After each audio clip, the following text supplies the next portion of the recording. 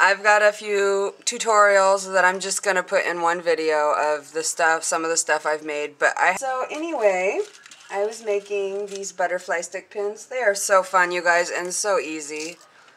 And um, I got this like bead, this little bead thing. And I was using these to make the butterflies in the video, so I'm just going to do that because I'm some of the orders on Etsy I'm giving these butterflies away as freebies. So I'm gonna make one for you guys. I'm actually gonna make two. I'm gonna make one out of the big lace. And uh, the rest of my lace is sold on my Etsy that um, was this kind of lace. So you can make these butterflies out of anything. You can make it out of ribbon, lace, trim, anything so you just cut, I'm going to cut that at an angle, like that, and I'm going to cut this side at an angle. And this trim actually has where you can do that, so makes it easier, but you can you could just make your own angle. Boo, let Bubba in.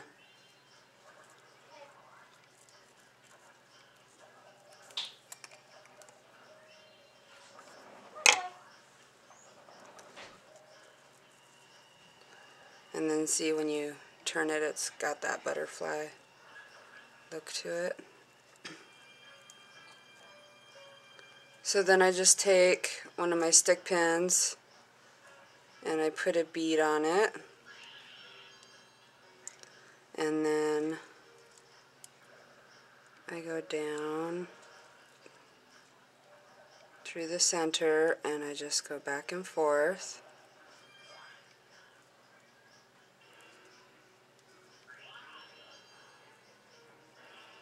and push it down.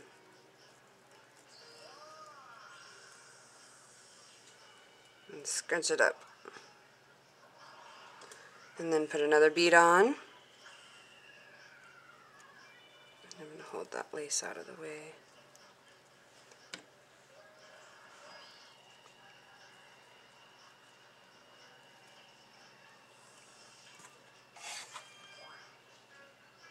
Some hot glue on or whatever glue you like to use. I like to use hot glue because it's fast.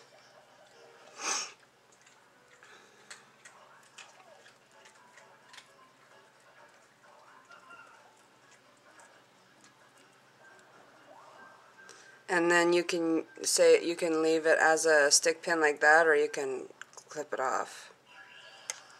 And now I'll make a big one with this big lace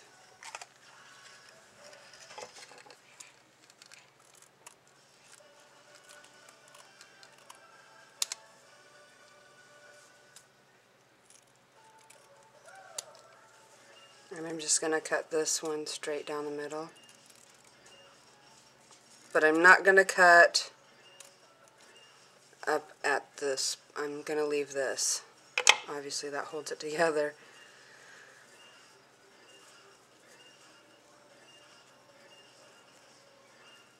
And this is a very big butterfly.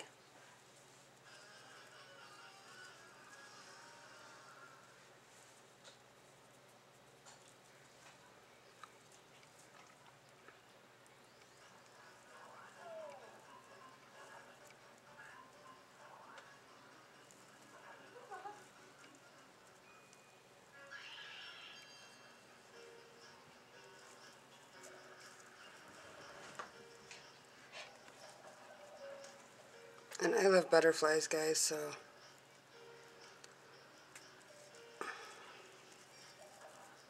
So if I can make a butterfly out of something, I will. And then you would just add a bead here, and then you've got a really big, pretty butterfly. That one's Hujongus.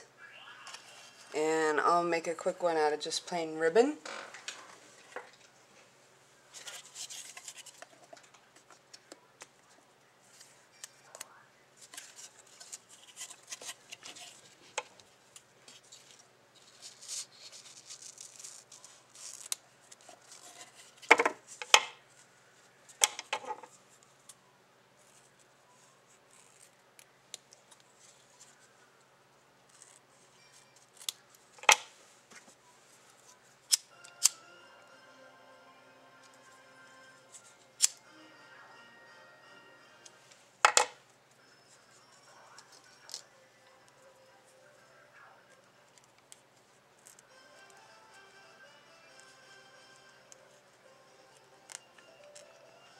And this would be cool to layer with some tulle. All of them would be cool to do that. And then you could um, either cut it like this, like a V, to get the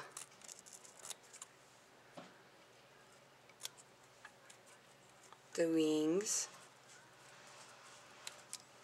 like that.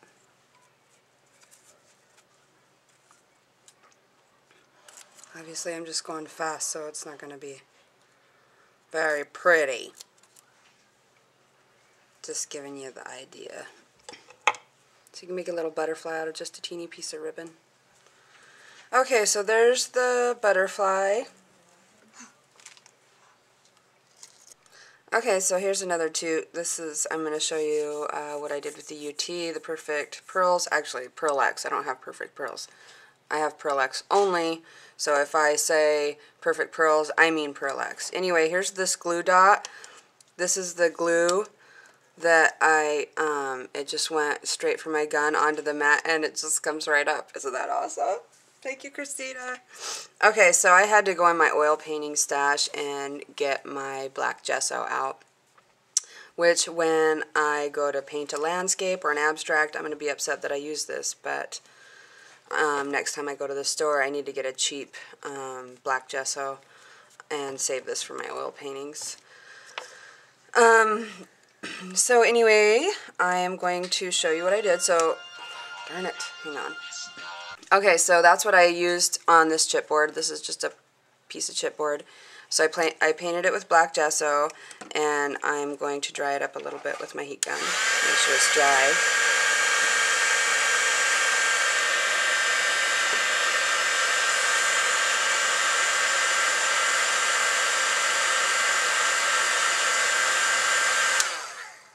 Okay, so I'm going to use the Stampendous uh, clear embossing ink. It's Boss Gloss. And I have a link on one of my videos um, where you can get this online. And you guys, I've had this since I started scrapbooking, and it's still three quarters full. It lasts forever.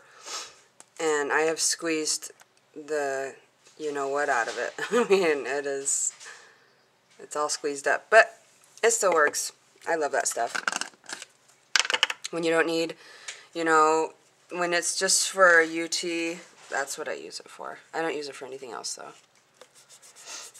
So I'm going to put my embossing ink on my chipboard and get it covered real good.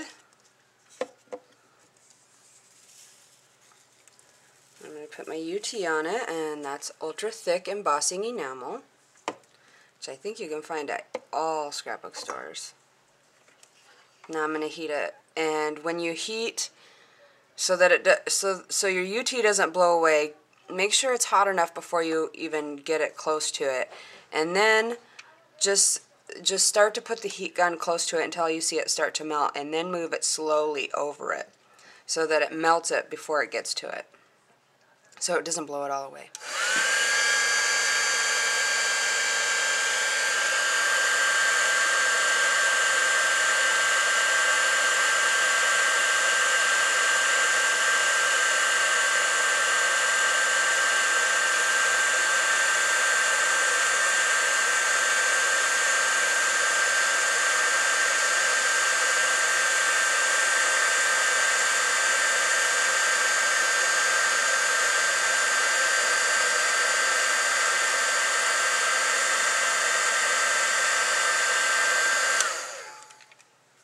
And you can do a couple of layers depending on how thick you want your impression.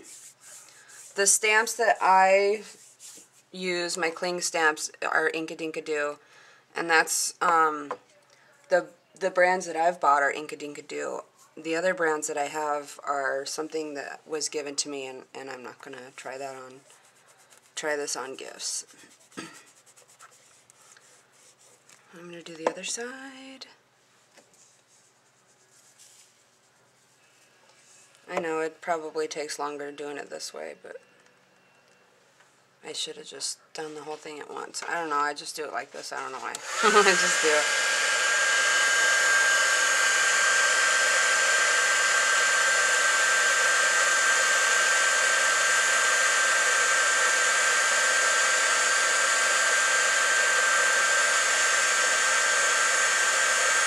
I just go over the whole thing and try to get it to flat and level before you add your Pearl Ex or Perfect Pearls or mica powders, whatever you use.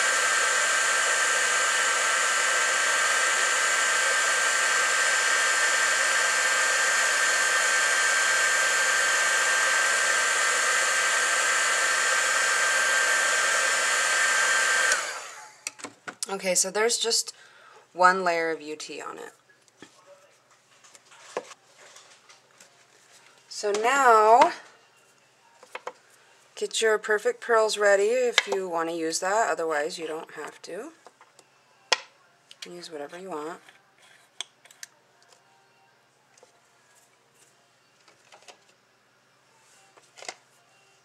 And I got my perfect medium. And I'm just going to spread it all over the surface. Make sure it's cool before you do that.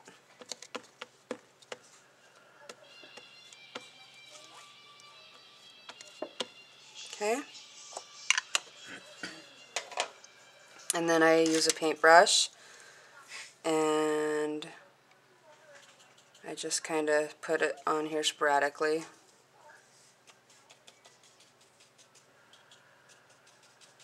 Wherever.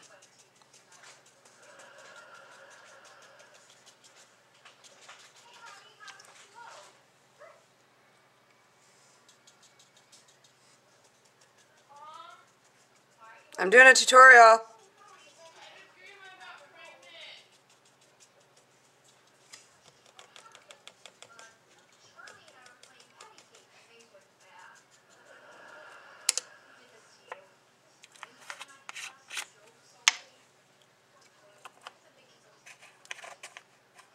And then take a big brush or a cleaner brush and just buff it in.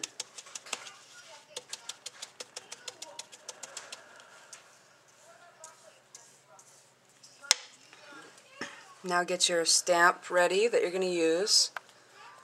And if you don't want to ruin a stamp or whatever, just use like a rubber stamp.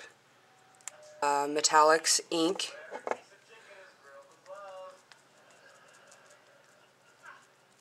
That way it will have the cloisonne look. Okay, so now it's all inked up and ready, and this is a hummingbird. This came with my butterfly that I used, that stamp set. Okay, so I'm gonna I'm gonna heat this up real. Good.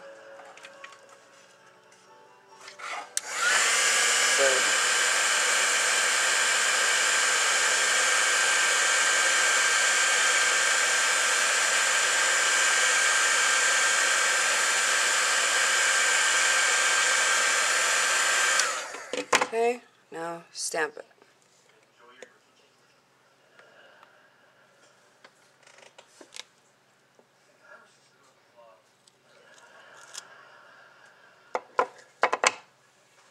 Isn't that so beautiful? So you can leave it just like this, which is gorgeous, or you can heat it more and melt it into the surface and flatten it out a bit.